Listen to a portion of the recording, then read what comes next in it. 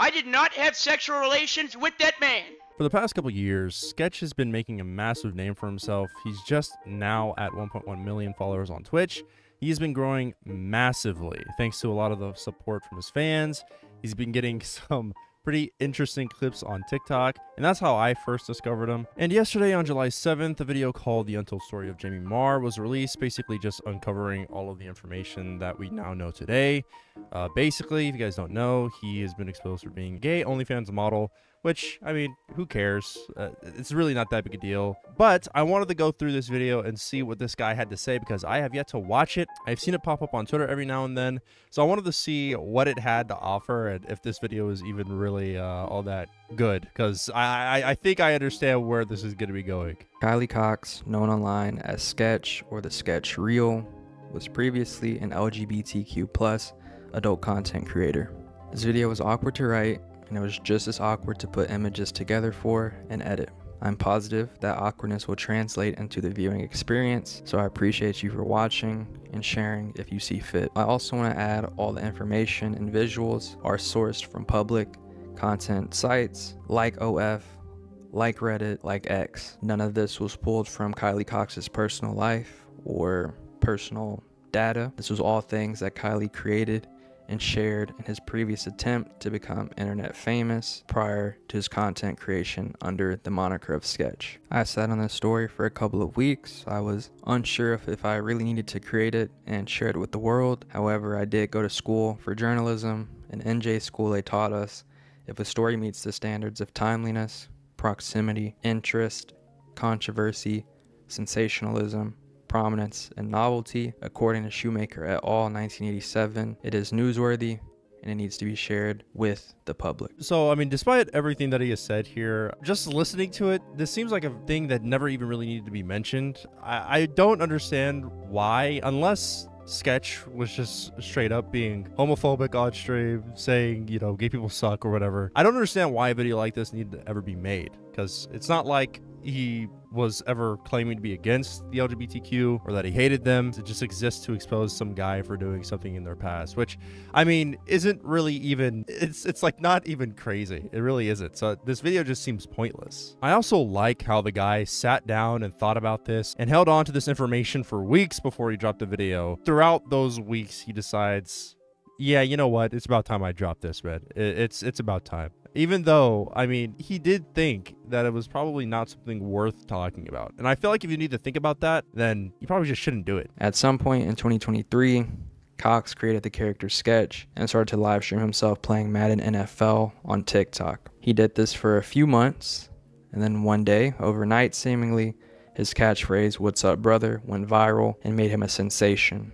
Since then, 2024 has been a major year for Kylie Cox. He's partnered with people like the Houston Texans, Kai Cenat and AMP, Fortnite, Jynxzi, other sports teams like the Dallas Mavericks, Tennessee Titans, and March Madness, and other people have been seen doing his what's up brother emote if you will. But really many of us only know that sketch. We only know the sketch from 2023 and in recent interviews kylie has said that prior to becoming sketch all he did was work with his family in their real estate business from 2020 to 2023 that could be part of the story but we will uncover it is not the full story. I feel like the internet is the only place on earth where if you do not talk about one specific part of your life, then you are a evil villain bad guy loser who deserves nothing but the worst in life. It's so weird how different the internet was compared to how it was earlier. If you were alive back then, you probably remember your parents telling you not to give any information out to strangers, not to do weird things, you know, on the internet, not to, you know, talk to strangers on the internet even, dude. Just don't give out any information. It's so weird how different the internet is nowadays when it comes to not even really hiding things, just not talking about things that you don't really want to talk about. Everyone has a past that they they feel ashamed for. And in Sketch's case, I mean, sure, he's allowed to feel ashamed about this, but honestly, does he even really need to in the big 2024? It's like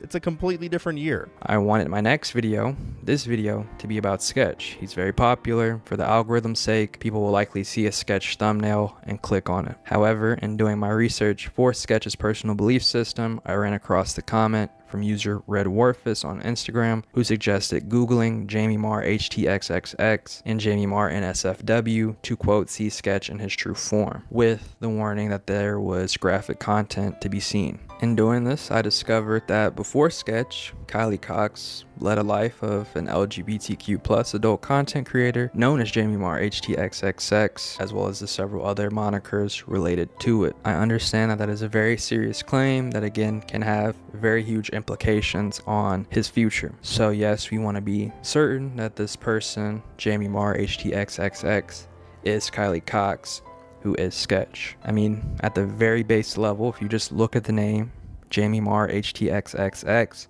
or Jamie Marr TX, that would indicate to us that this person is in the Texas area, specifically Houston, which we know for a fact is where Kylie Cox, aka Sketch, resides at as well. When we follow that name to Reddit, we get more confirmation that this person is indeed in Houston, because in 2021 they posted several times looking for Houston area meetups. They also posted a handful of times promoting their content on Twitter. Now, when you follow the link to Twitter, fortunately or unfortunately, however you want to slice this, the account has been scrubbed from the internet. In fact, most things associated with Jamie Marr have been scrubbed for the internet, or at least attempted to have been scrubbed from the internet. Still, things remain.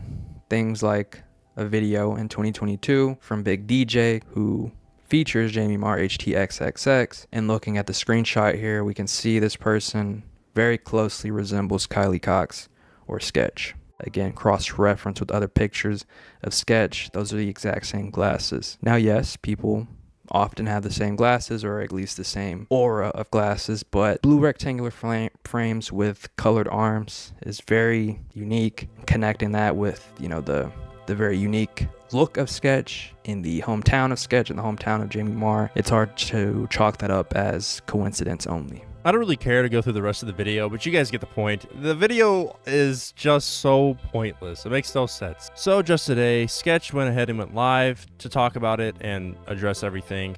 He basically confirms all the images seen were real, but in the stream, he seems very apologetic, which I don't think he really necessarily needs to be. It is quite sad that he needed to apologize for any of this. I understand why he would want to keep this like under wraps because it is his business. Sketch did nothing wrong. I don't believe he needed to do that. Elephant in the room, I got a haircut. Wasn't planning on doing this today, but I guess so. Okay, I'll start from the top. Look at this, open and honest. That was me. Two years ago, I did some stuff. I'm sorry if you've seen some of the stuff. You know, I'm a, a changed person. So two years ago, I did not have sexual relations with that man. I'm just kidding. I did. Possibly. Shit hit the fan. I don't, don't go on Twitter. I, I deleted. I'm just kidding. I didn't delete Twitter. I have been cautiously avoiding it. It's like fucking landmines everywhere I go. Okay, I was dealing with some addiction problems.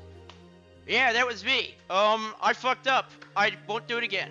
I've been living under the threat of that coming out for like two years. Started social media, just kind of dicking around, had that in my past. I'll tell you what, weight lifted off my shoulders. Plan A was, and I will say candidly, was to probably eat a eat uh well probably to call it quits if this ever came out but some people saved me. Shout out Banks. Shout out my parents. Like, shout out y'all. Like, I up, but I'm changed. Um, yeah, that's about it though. If I was alone and I was at my house, I probably wouldn't be talking to you right now. But the people at FaZe, Banks, especially, um, and my friends that I've made over the past couple years came in and they saved me. I don't know what I was gonna do, but like I said, the stream was very sad, especially at the end when he started crying. It, I don't think he needed to do it in the first place. It, genuinely just a really sad situation. And when you move over to Twitter, things do look a little bit more positive for the guy. Like there are a bunch of people defending him, lots of streamers on his side saying basically that, like, you know, he didn't really do anything wrong and that everything is perfectly fine. Some people are being assholes about it on Twitter. A lot of people are. It's in my ass, brother. but